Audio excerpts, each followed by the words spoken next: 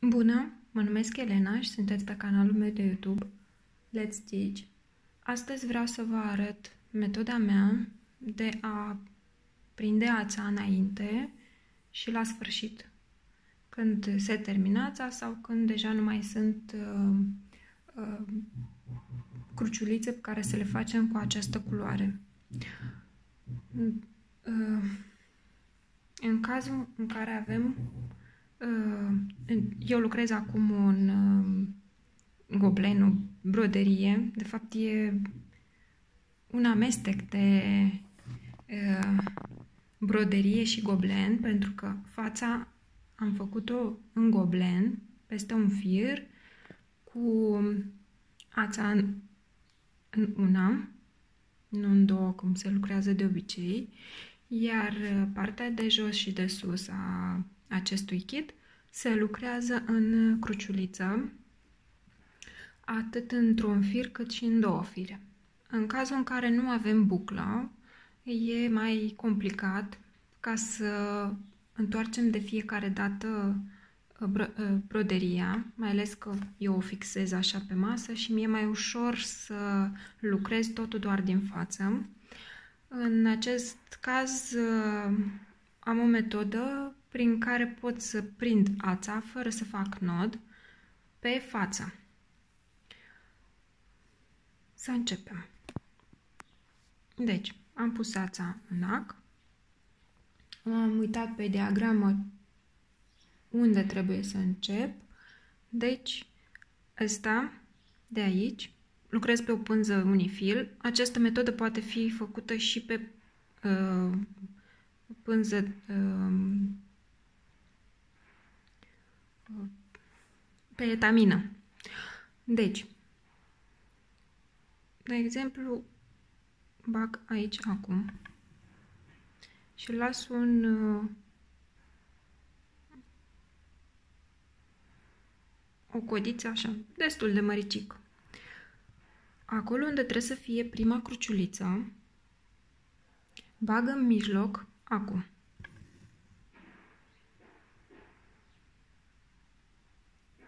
Și apoi mă duc în colțul de sus.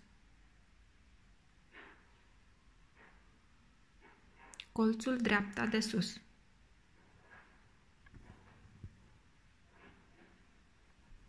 Deci, mai trag un pic ca să așa, să dispară acea codiță. Apoi ies prin colțul de stânga jos ușurel, ca să nu tragem prea tare și intrăm iarăși în mijlocul acelei cruciulițe, viitoare cruciulițe. Acum putem să facem partea de sus. În cazul dat, se lucrează într-un fir, ața un fir, iar pânza din două în două fire facem următoarea următoarele cruciulițe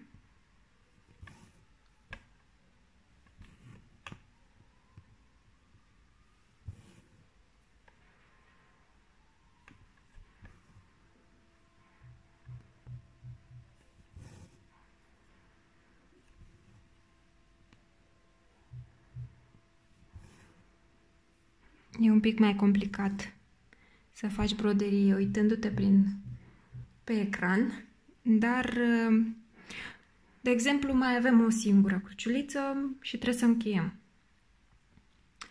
Uh, nu facem mai întâi partea de jos, ci o facem pe cea de sus. Deci, din colțul de stânga sus, ies cu acum și fac partea de...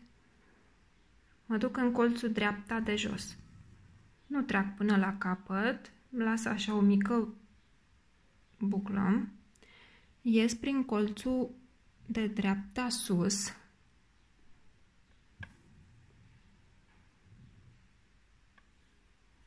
Și mă duc în mijloc sub partea de jos, partea de sus a cruciuliței.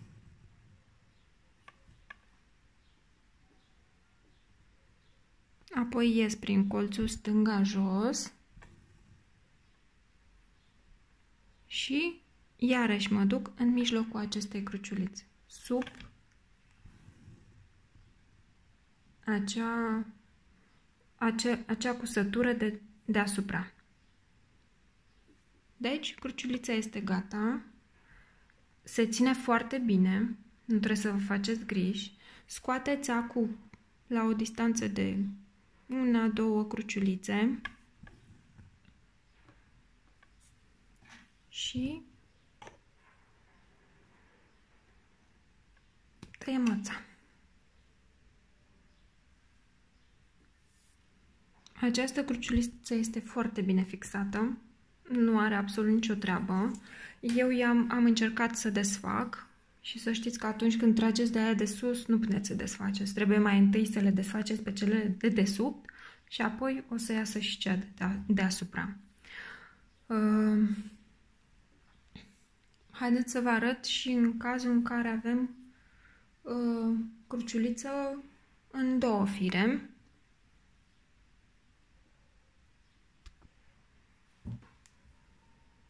Deci, am pus ața în ac și în capăt avem două fire tăiate.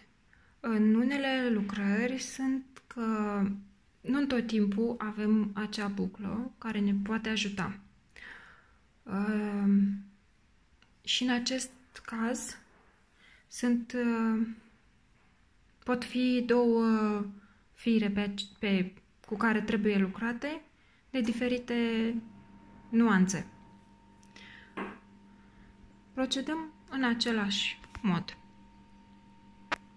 Deci, avem de făcut aceste cruciulițe. Băgăm acum la o distanță de una, două cruciulițe, unde trebuie să fie. Scoatem acul prin mijloc.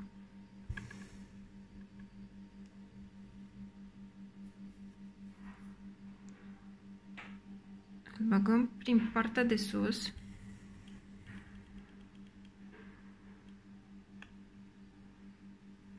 dreapta sus, mai tragem un pic, apoi stânga jos și iarăși în mijloc.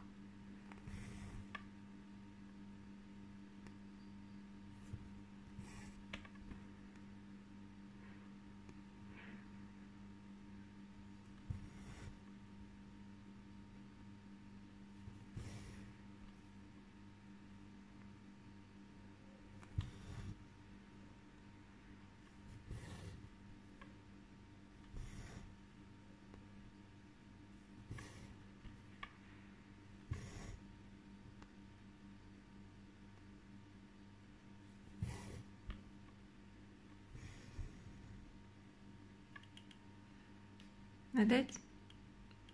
În... Atunci când se face în două fire, aproape că nici nu se vede că acolo a fost început... Uh... E începutul. Dacă nu știi, nici nu-ți dai seama. Și acum mai prindem încă o dată. Deci, mergem în partea de sus, stânga, sus, dreapta, jos, Adică facem invers.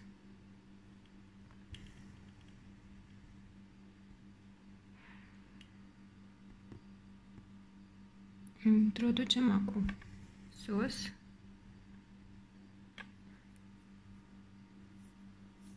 Și apoi în mijloc.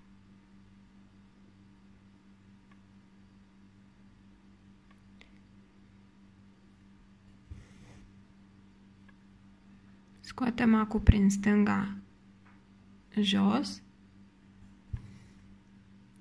și iarăși mergem în mijloc.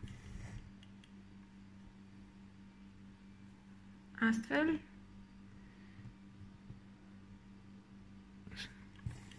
am făcut și Și ultima cruciuliță.